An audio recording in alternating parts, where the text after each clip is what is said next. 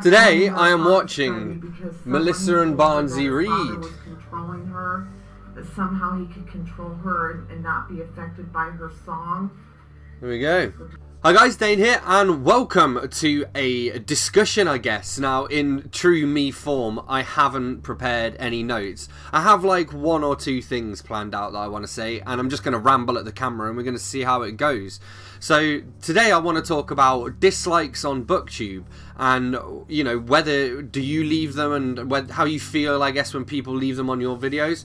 Because, on the one hand, I can kind of see how they can be an indicator of whether something is, you know, you know whether it's reaching your audience in the way you want it to. But on the other hand, you know, I tend to look at the number of likes and maybe the comments as opposed to the number of dislikes. Dislikes make me sad, and I I think they probably make most people sad. You know, I think when you spend a lot of time making and filming a video and then it gets a dislike, it's tempting to take it to heart. Weirdly, I think I, I take dislikes on YouTube more to heart than like negative reviews or, you know, mediocre reviews on my books. And I don't know whether that's maybe because quite often I'm maybe sharing the, the the, love I have for a book that for, that I really like, and then if someone dislikes it, I'm kind of like, oh, you didn't even you didn't even give the book a chance. You just disliked the video and moved on with your life. How dare you? It's an interesting one. So, I mean, I've had a few dislikes on videos here and there. I notice most people dislike my reviews, so I don't know whether that's just because people dislike reviews.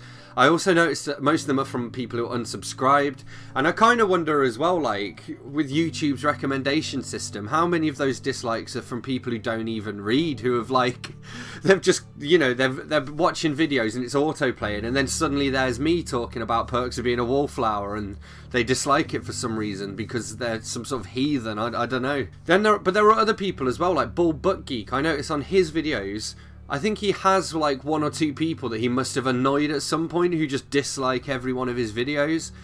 And it's so unhelpful. And I feel like quite bad when I see that, that I'm like, why have you disliked this video? Like, I really liked it and I'm having a chat with him and stuff.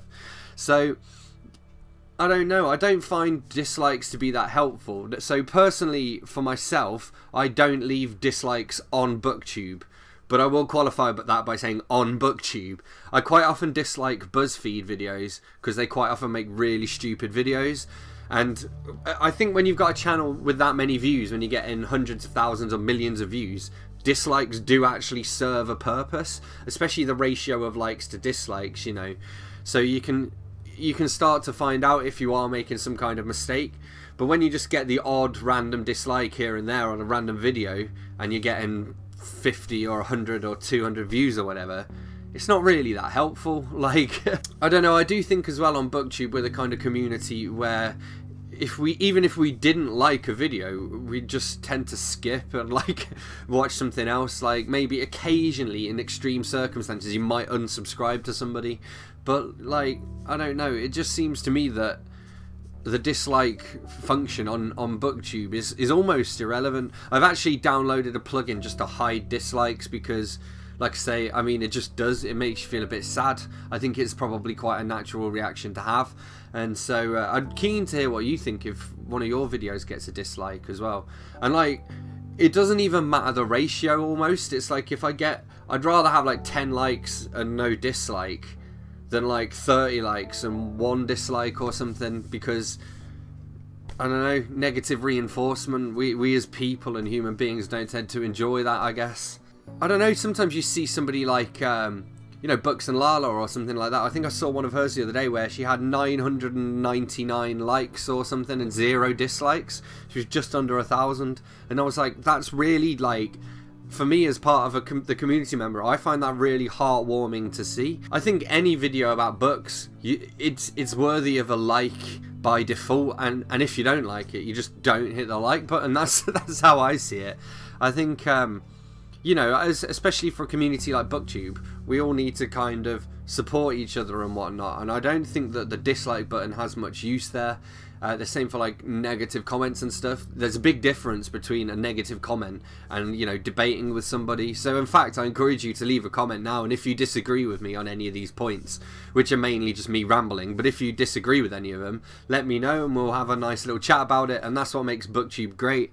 And I think just hitting a dislike button, it almost, I don't know, it's just like it's it's it's taking an unnecessary dump on something that somebody loves you know. Like we're not we're not doing it for the money or the fame or anything like that. We're doing it for the conversation i would i would argue. But certainly in my case i think what the bit that i enjoy the most is the conversations i have with people. But something like a dis hitting dislikes and stuff i, I don't know. It's it's malicious it's like driving through a puddle and splashing somebody just because you can and it'll entertain you for a split second. And you're giving them a really shitty day. Like, there is no need to do things that are negative, I think. I don't know. Just be neutral. If you don't like a video, like I say, move on. I do BookTube because I like to talk to people, I like to make friends, I like to document the process as well. And as much again a, a dislike shouldn't shouldn't matter because I'm not doing it to make people happy. as much as, as as much as it is a good thing if you watch my video and smile at my weird sense of humor or whatever. That's not why I'm doing it, and and um, you know I'm just glad that people are coming along on the journey with me. But see, that's it. You know, you're light. So I think that's it. Now I will be interested to see whether this video gets any dislikes because it will be kind of funny if it does. But such is life. I'm only half serious about what I've talked about in this but another half of me is deadly serious, and if you dislike my videos, I will find you. I will find you and I will end you. And what was all that about when I got two dislikes on my Miss Marple review? People, oh, oh. How can you dislike a Miss Marple review? It's Miss Marple. Anyway, on that note, thanks a lot for watching. Let me know what you think in the comments. Feel free to discuss the question of dislikes on booktube as well in a discussion video on your own channel if you fancy it. If you do just let me know so i can check it out.